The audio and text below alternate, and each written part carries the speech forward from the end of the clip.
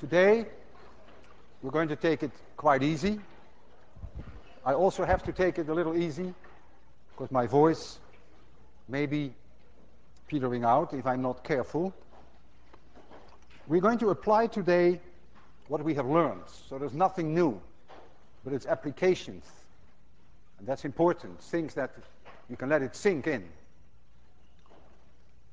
We have here a trajectory of a golf ball or a tennis ball in 26 100. We shoot it up at an angle alpha. The horizontal component in the x direction is v0 cosine alpha, and the vertical component is v0 sine alpha. It reaches the highest point at P, and it returns to the ground at point S. This is the increasing y direction, and this is the increasing x direction. We're going to use very heavily the equations that you see here that are so familiar with us. These are the one-dimensional equations in x direction when there's, where there's no acceleration, and the one-dimensional equations in the y direction where there is acceleration. In order to use these equations, we need all these constants x0, v0x, and v0y. We have seen those last time. I choose for x0 I choose 0 arbitrarily, also for y0. The velocity in the x direction will never change. This v0x will always remain v0 cosine alpha. The velocity in the y direction, however, in the beginning at t equals 0 is v0 sine alpha, and that one will change because there is here this t, and that's why the velocity is going to change. This t will do it. And the acceleration in the y direction, since this is increasing value of y, is going to be negative 9.8, since I call always 9.8 plus, uh, since I always call g plus 9.8, this is um, minus g. I now want to ask first the question that you may never have seen answered, what is the shape of this? Well, we can go to equation number three there, and we can write down, this is equation number three, that y as a function of time equals v0 yt, so that is v0 sine alpha times t minus 1 half gt squared. That's the equation in y. I go to equation number 1, and I write down x at any moment in time equals v0x times t, so that is v0 cosine alpha times t. Now I eliminate t, and the best way to do that is to do it here, to write for t x divided by v0 cosine alpha. Now I can drop all sub-indexes t, because we're now going to see x versus y. We're going to eliminate t. So this time here, I'm going to substitute in here and in there, and so I'm going to get y equals. There's a v0 here, and there's a v0 there. That cancels. There's a sine alpha here, and a cosine alpha there. That makes it the tangent of alpha. And then I have here an x. Then I get minus 1 half g times this squared, x squared divided by v0 cosine alpha squared. And now look very carefully. y is a constant times x minus another constant times x squared. That is a parabola. It's a second order equation in x and it's a parabola, and the parabola has this shape. So you see now, by eliminating the time, that we have here a parabola. Now I want to massage this quite a bit further today. I would like to know um, at what time the object here comes to a halt, to its highest point, comes to a halt in the y direction, it comes to a highest point, and I want to know how high that is. Well, the best way to do is to go to equation 4 and to say to equation 4, when are you zero? Because that is the moment that the velocity in the y direction becomes zero. It must be at its highest point then. So in order to find for us the position of the highest point P, we first ask ourselves the question from equation number 4, when is the velocity in the y direction 0? And that then becomes v0y, which is v0 sine alpha, minus gt, and out pops that t at point P is going to be v0 sine alpha divided by g. But that's the time that it takes for the object to reach the highest point. Where is it then? What is the highest point above the ground? Well, now you have to go to equation number three, and you have to substitute this time in there. So that highest point h, which is y at the time t of p, equals v0 yt, that is v0 times the sine of alpha, but I have to multiply it by this time. And so I get another v0 sine alpha, and I get a g here, minus gt. My, oh, no, no, this equation, minus half gt squared, minus 1 half g times this one squared, which is v0 sine alpha squared divided by g, divided by g squared. Because there's a g here, you see? So you square the whole thing, it is t squared. You lose one g, and you will find then that the highest point, let's write it down here so that we don't block that blackboard. The highest point in the sky equals v0 sine alpha squared divided by 2g.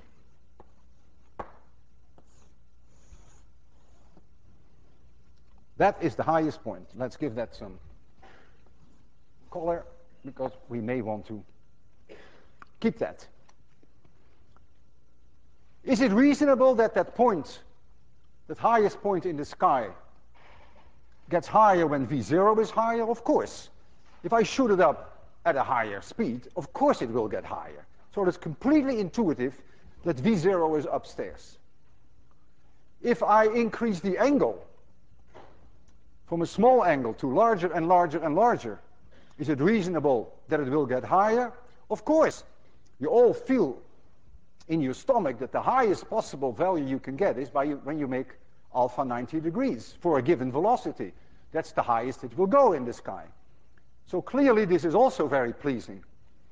If you did the experiment on the moon, with the same initial speed, it will go much higher. So you're also happy to see that this g here is downstairs. So that makes sense. At what time will the object be at point S? Now there are two ways that you can do that. You either go to this equation, number three, and you ask equation number three, when are you zero? I'll give you two answers.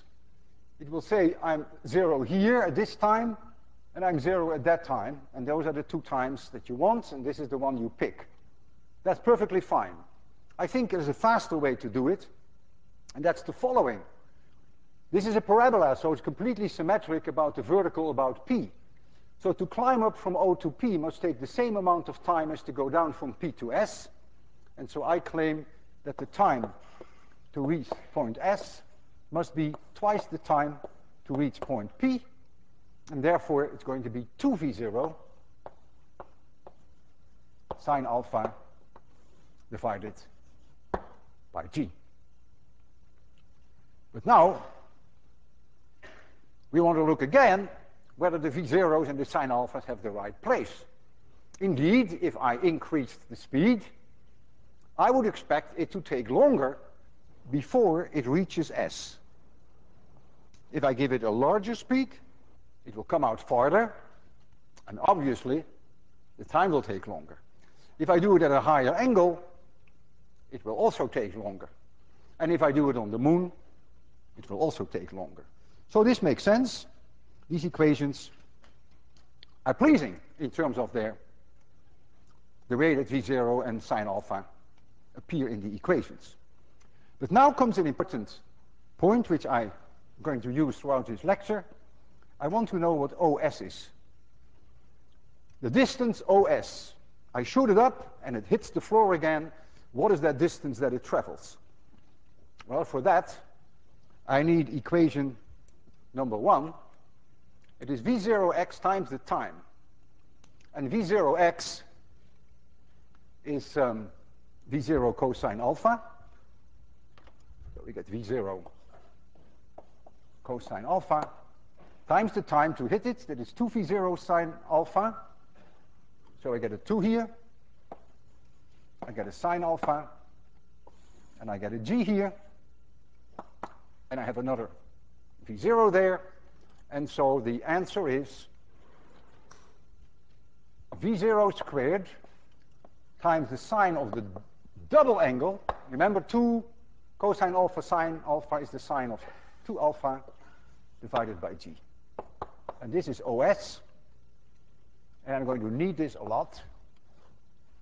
This reminds me not to remove it. Now, I sort of wonder, and you should too, why is it that the highest point in the sky has a V0 squared, and why is the farthest point also, why does it also have a V0 square?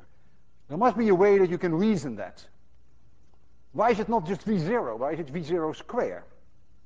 Well, I'd let you argue about the highest points, and I'll give you a good reason for the distance, OS. Don't look at the equations. Just simply think for a change. Don't look at the equations. I double the speed.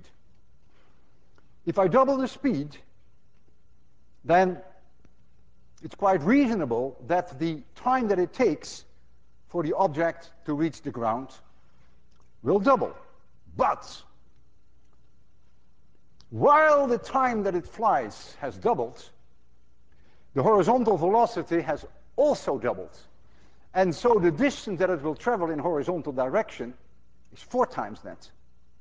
Twice because the time is, has doubled, and another factor of two because the horizontal component has also doubled. So that's why you see V0 square there. It's completely pleasing. This tells you immediately that the, if you want to throw a ball as far as possible, people who play baseball know that, you should do it at 45 degrees. Because if you throw it at 45 degrees, then this angle 90 degrees, and that is 1. Now, of course, in, in reality, a baseball player knows better. They give effect to the ball, they deal with air drag, they spin the ball, and then these equations uh, are not valid. This is only in case we deal with, with vacuum. I now would like to test some of the results that we have here, that we have worked out here. I'm going to shoot a pellet, a metal ball. I'm going to shoot it at various angles. 30 degrees, 60 degrees, 45 degrees. And I'm going to make a prediction, if I shoot it up from there, where it will hit table. A measurement is meaningless without knowing the uncertainties. So that's the first thing we have to deal with. The first thing I want to know is what is the velocity of this bullet when it comes out of the spring?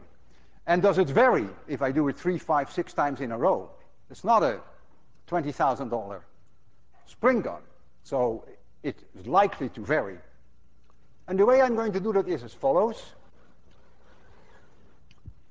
If I shoot an object vertically up, that is the maximum value that it can go, when alpha equals 90 degrees, then the sine of alpha is 1, then the height is v0 squared divided by 2g. In other words, if I measure the height, if I shoot it up vertically, and you can measure that for me, you will see how I'm asking you to do that, then we can calculate v0 squared. So the first thing I want to do is to shoot it up vertically, and how are you going to help me to, calculate, to tell me how high it is?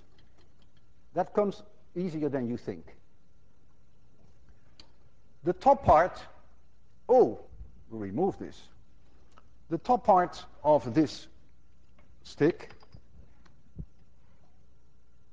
is 3 meters, the top mark. That very top mark is 3 meters. And all I want you to tell me whether it is yay much above or yay much below. And then we'll estimate that yay much, and then we'll make a guess. And I'll do it twice.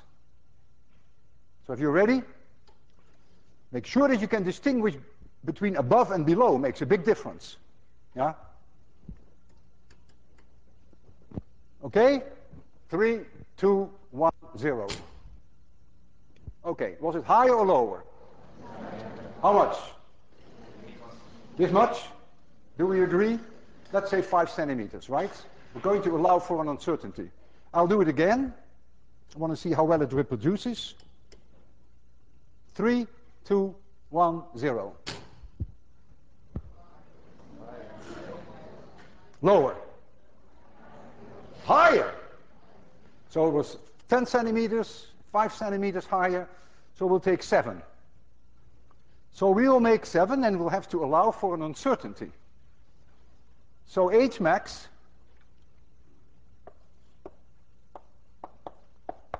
is about 3.07. I have done this this morning 20 times. And there were times that the height differed by more than 10 centimeters, sometimes even 15 centimeters.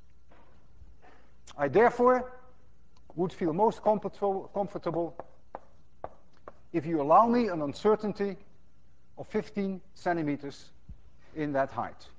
Remember, once we start shooting at 30 degrees, there's no way that we can evaluate the velocity anymore. We have to just take this value at face value. This is the way we've measured V0, and that's it.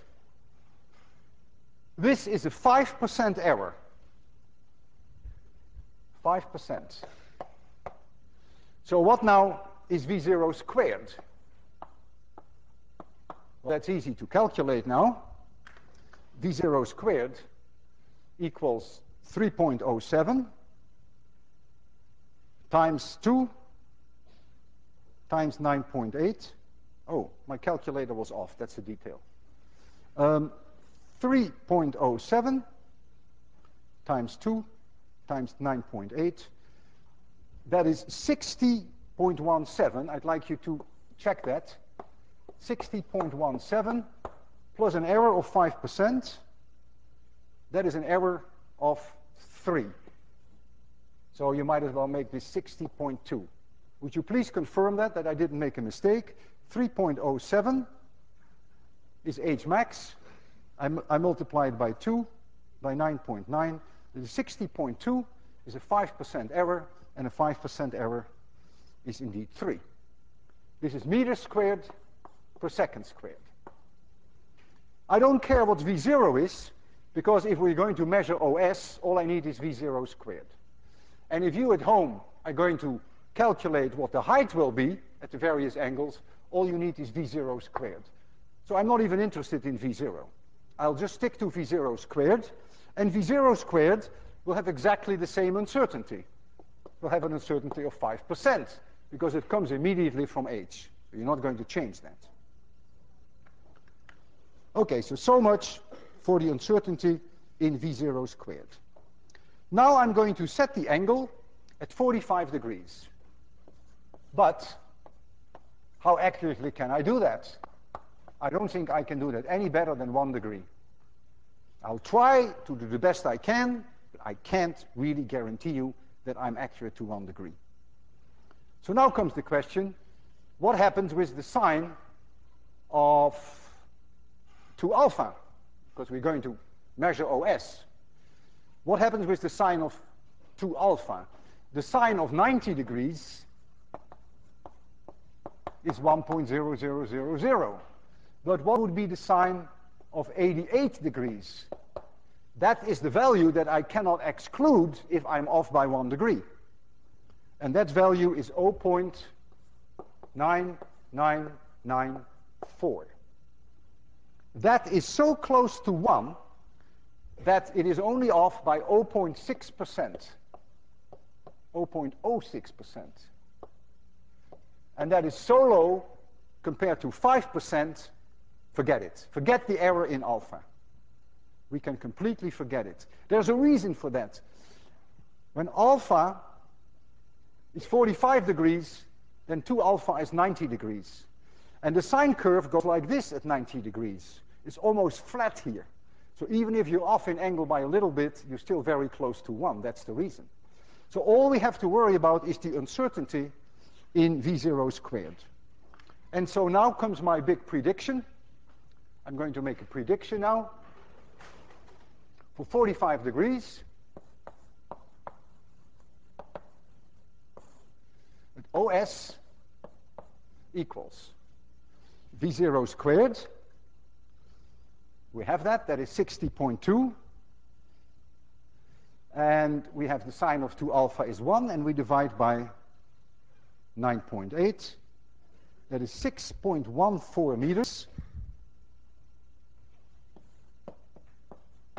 With an uncertainty of 5%, right? Because that's the uncertainty in V0 squared.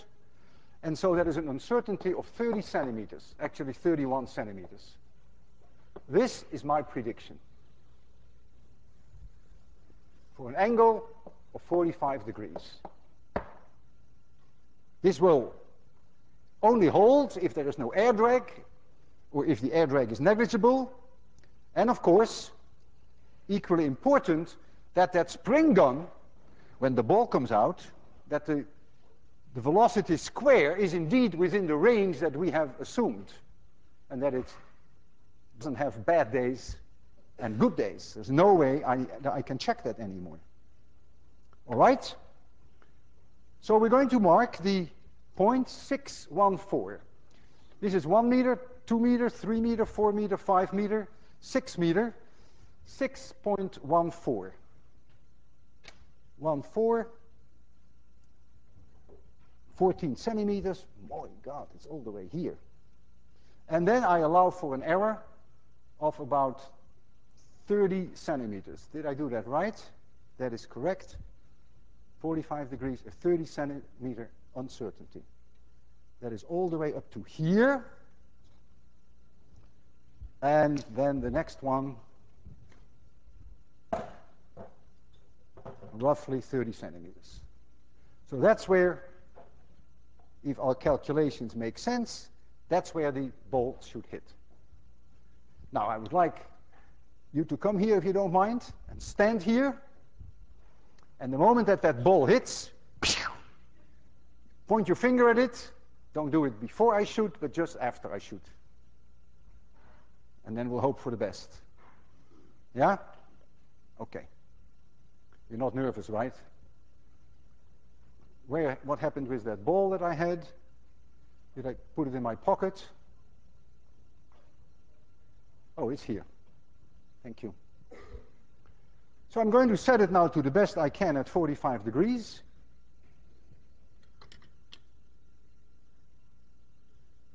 And so I can never shoot it any further. This is the, the angle, this is the maximum possible distance. You ready? You are? Don't look at me, look there. It goes fast. Three, two, one, zero. Put your finger there. Isn't that fantastic? Isn't that amazing? Do you see now how important it is that you have uncertainties in your measurement? In high school, you would have said it has to hit there. Boom, man. It has an error. and the error has to be taken into account. Where's my ball, by the way? Boy. Oh, I have it. Oh, here. Ah. Okay, you can sit down now. You did great. It worked just because you were there.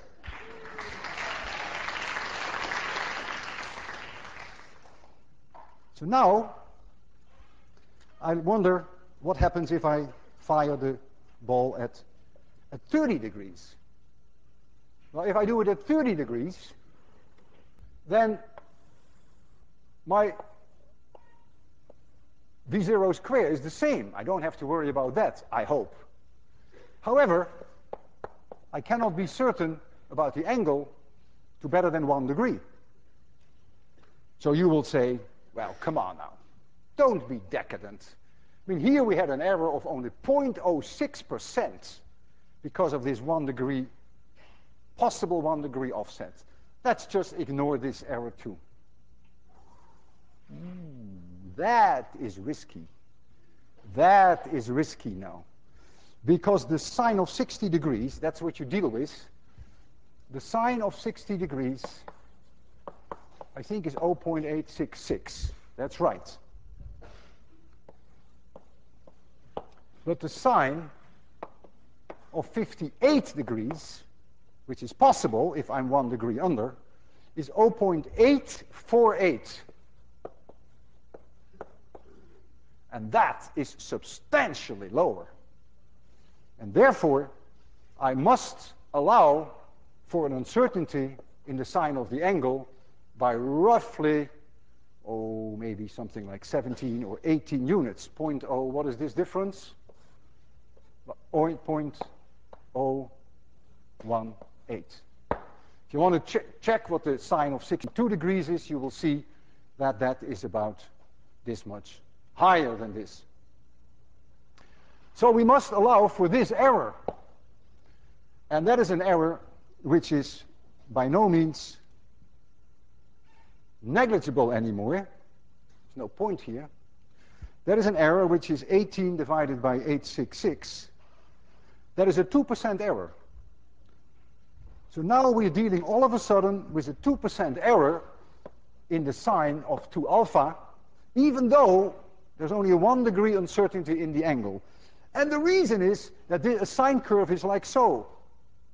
So a small angle change here makes no difference. But the small angle change here makes a lot of difference. And that's the reason. And you can see that it is the slope of the sine curve that gives you a much larger error if you are off by a teeny weeny little bit. So now we're ready to make a prediction. So here comes the prediction. OS, now for 30 degrees. So I have to go through V0 squared, I have that, 60.2. And then I have to multiply by the sine of 2 alpha. That is the sine of 60. Multiply. And then I think I have to divide by g, that is right. 9.8. And I find 5.31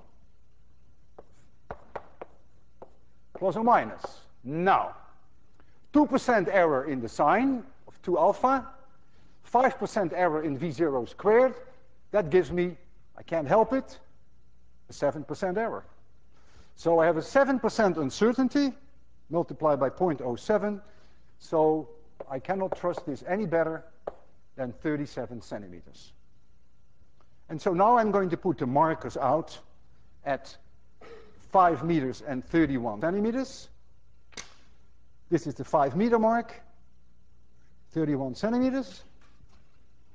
And I allow for 37 centimeters on either side. It's here. And 37 centimeters on this side. That is here going to set the angle at 30 degrees. Yeah, yeah, waar kom? We need woman power here. Stay here. Stay out of the fire line. And when that ball hits, you jump on it. Yeah, you jump on it. Okay. Everything under control. Five, make sure I marked it right. Five meters, three, one. That looks about okay. And now I have to change the angle to 30 degrees. Ah.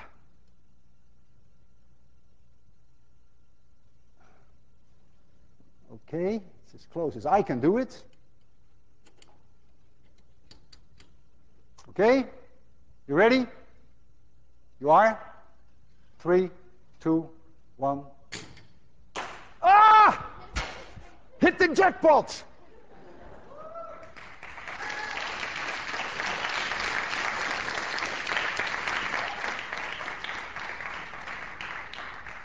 Incredible. What you can argue now, and successfully, you could say perhaps you have been a little bit too conservative on your errors, and I admit that. But believe me, when I did this morning this five, six times, that the error in V0 was quite substantial. The height differences were sometimes 15 centimeters. And so I had no choice. But it looked like we were a bit on the conservative side.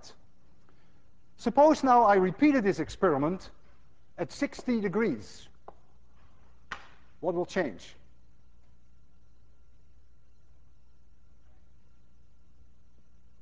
What will change? Will OS change? No, because the sine of 120 degrees is the same as the sine of 60 degrees. You have 2 alpha here. The sine of 60 is the same as the sine of 120. If you allow for an uncertainty of 1 degree on either side, you will find exactly these same numbers because of the symmetry of the sine curve. So again, you're off by 2%. No difference. And so this prediction is unchanged. However, I want to ask you one question to see whether you are half alert or half asleep. At 30 degrees, you saw this. At 60 degrees, giving it the same initial speed, you will see this. It will have to hit here within the uncertainty of our measurements at the same location it will, of course, of course, go much higher. You can calculate that because you will have to use this for the equation for the height. And that goes with the sine of alpha. The sine of alpha for 60 degrees is way higher than 30 degrees. But now comes a question, will this trajectory take longer than this one, or will they take the same amount of time? Who is for the same amount of time? Who is for longer? Who is for shorter? Okay. I'm happy with one set of fingers and unhappy with another set of fingers. What is the horizontal velocity of the golf ball when it takes off? If the velocity is the same in both cases, can't you see that this horizontal component is way larger than this horizontal component. And if they travel the same distance, then this trip must take longer. Because it's the horizontal component in the x direction that determines how long it will take to go from here to there. Suppose I shot it straight up. How long do you think it will take to hit here? It has no horizontal component. All right? So Think about this. This trajectory will take longer, but it ends up at the same point. All right? Number three, can you come here? So I don't have to change these markers. They're all perfect, provided that nature is willing to reproduce itself. 60 degrees.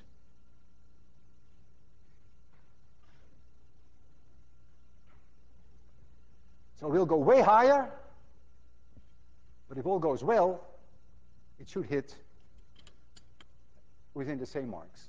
Ready? Three, two, one, zero. Here, man. Yeah, here, right? Thank you very much. Wonderful. Look.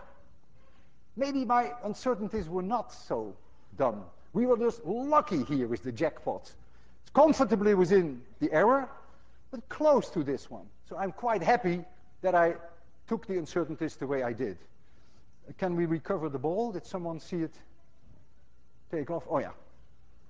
All right, now we will enter a different part of this lecture, which is actually a very, a very sad part.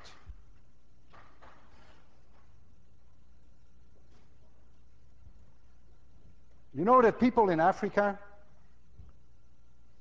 shoot monkeys.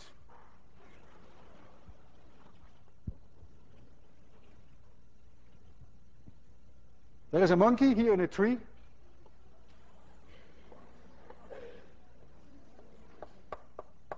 Very happy.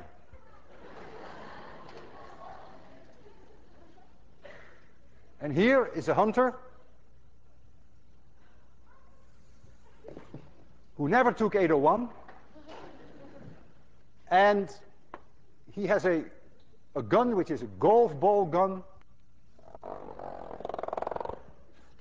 And he aims that gun right at the monkey. He shoots it with a certain velocity, the golf ball. Let this be the speed, v0. So the horizontal component, you're going to see that again and again, v0 cosine alpha, and the vertical component equals v0 sine alpha. Let this be my increasing value of y, and this be my increasing value of x. This um, golf ball, this, this golf gun, is really not first class, thank goodness. And so, when the hunter shoots this golf ball, this happens. And it ends up here at point P. Lucky monkey so far. Now, it is very tragic, but true, that when the monkey sees the flash of the gun, it lets go.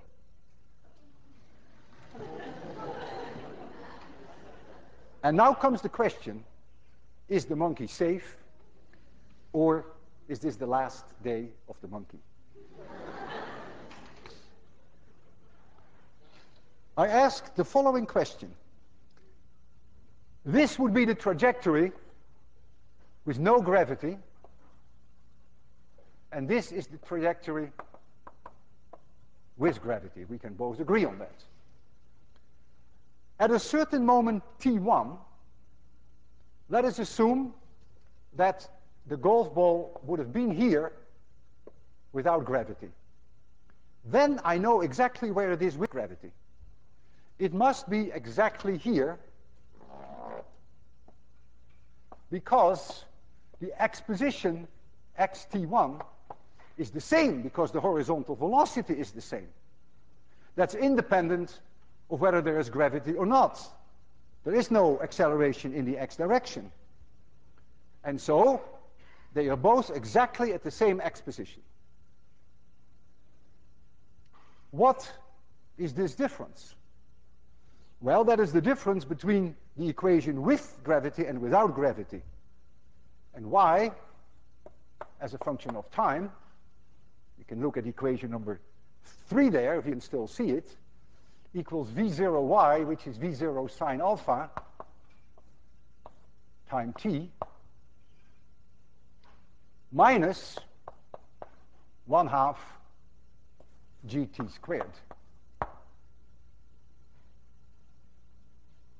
Well, if there is no gravity, this term doesn't exist. So that's this straight line. With gravity, it's the same thing, but you have to subtract this. Therefore, this distance is 1 half gt1 square. That is this distance, because this curve is lower by this amount. Now comes the time that the golf ball hits point P.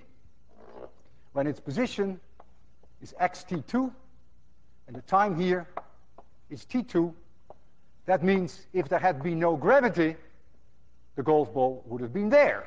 They must have the same position in x at this catastrophic moment. So what now is the distance between the monkey and the golf ball, the distance between the two trajectories, one trajectory no gravity, the other with gravity, this distance equals 1 half gt2 squared for that same reason.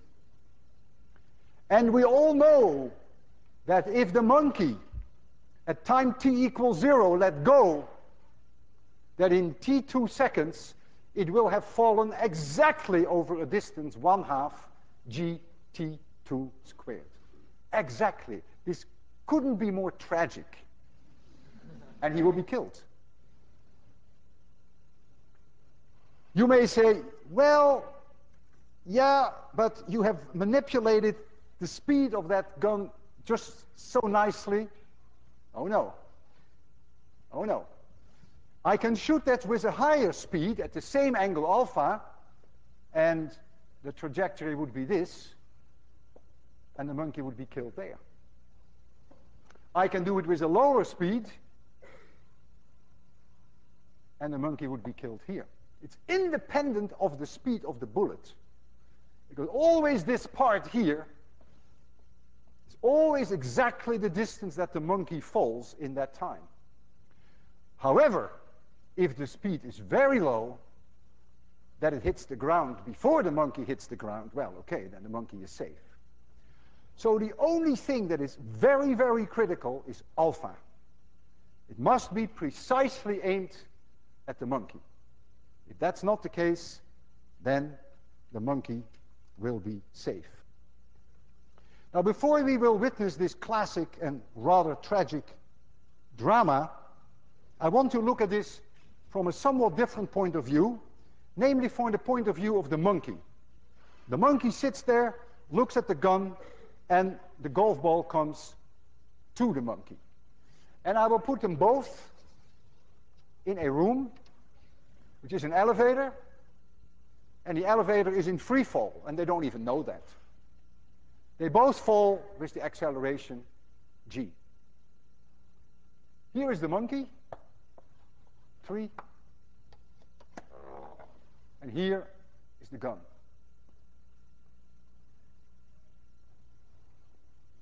The velocity of that bullet is v0. And so the monkey will see that bullet come straight at him. There's no such thing as an arc. They both fall in this falling in this falling elevator, and so the bullet comes. The monkey happens to be a very intelligent monkey. And the monkey says to himself, how long do I have to live? And the monkey makes the following calculation. if this distance is d, and this is h, then the monkey says, aha, this is the square root of d squared plus h squared. So from the monkey point of view,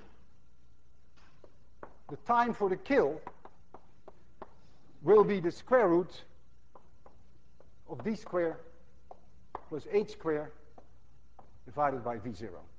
That's how many seconds he has to live. But you people are also quite smart. And you look at this diagram. And you said, no, no way.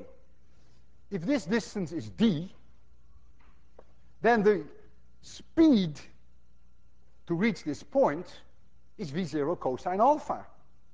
In other words, the time that it takes for this object to reach this value of x, so for 26100 MIT students, t kill equals d divided by v0 cosine alpha. But what is the cosine of alpha? That is d divided by the square root of d squared plus h squared. So I can replace this cosine alpha by d divided by the square root. So I can replace this cosine alpha by d divided by the square root. And you and the monkey agree exactly on the amount of time that the monkey has to live. It better be that way because this could not depend on which reference frame you work in, the falling reference frame or, for that matter, the reference frame of 26100. The monkey will be placed at a, about three meters above the table. We all know that it takes about 0.8 seconds. We have done many experiments at three meters. Takes about 0.8 seconds. So the whole thing will go very fast. We were going to put the monkey up there. I want you to first see the trajectory of that golf ball before we bring the monkey in. I mean, it is already so painful for this monkey. You don't want him to pre-experience what's going to happen. So we will do this in the absence of the monkey, and we will let you, I will let you see what roughly the trajectory of that bullet will be. Three, two, one, zero. So it will hit somewhere here. That's that point P. So when you're going to see the drama in action, this is where the monkey will reach when the two hit each other. Now, you can imagine that this is a very painful day for the monkey. And I'm going to get the monkey. He's behind here. And I hope that you would pay some respect to Robert. His name is Robert. And it may take me a minute.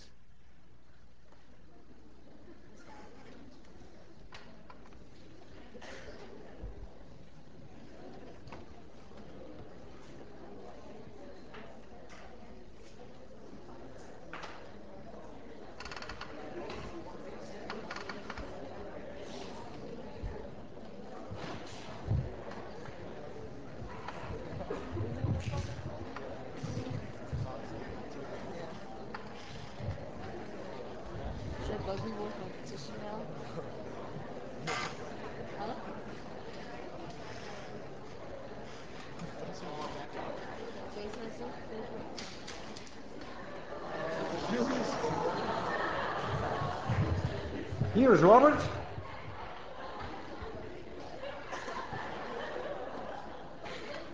I thought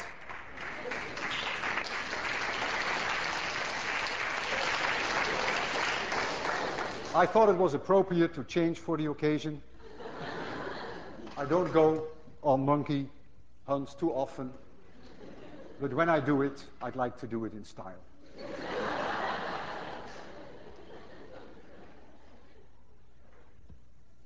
Here is Robert, and we're going to put Robert up here. Robert has in his head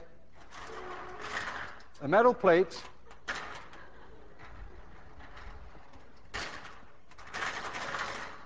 so that when we activate the electromagnet, that we can stick him on there, and when we take the current off, then Robert will fall.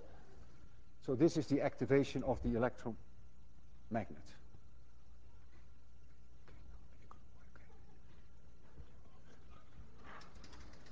So here we go. I can see Robert is nervous. And you can't blame him. This is not the greatest day of his life. oh, by the way, I want you to know, I mean, we are not cruel here. He's wearing a bulletproof vest.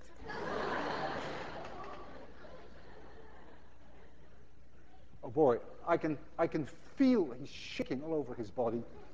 He's very nervous. Robert, don't let go yet.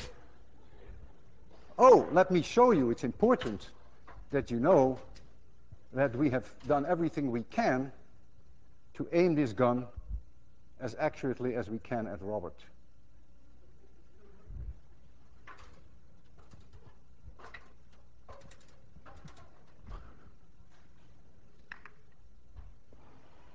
Robert, don't let go yet.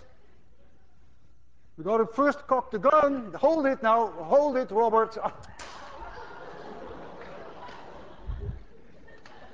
this happens always with Robert.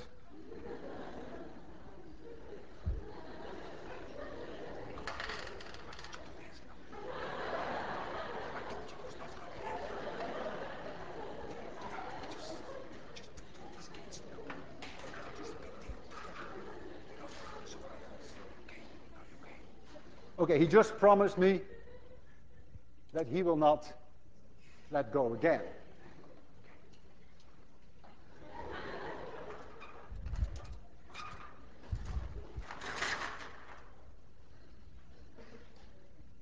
When I cock the gun, if I can find the golf ball, it's here, then the electric circuit takes over and now the current will be disconnected when the gun is fired. Even, I, even I'm nervous. I admit it, you know. This is a terrible thing to do. Terrible thing to do. You ready? Three, two, one, zero.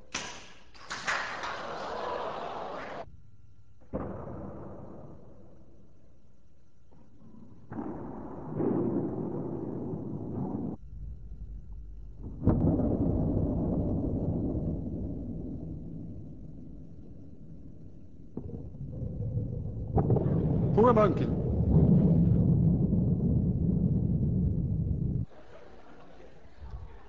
See you Friday.